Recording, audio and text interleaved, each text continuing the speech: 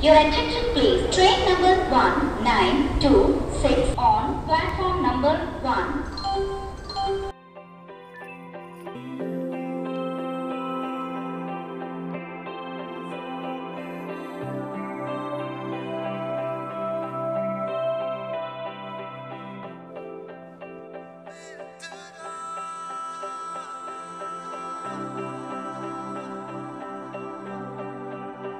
1.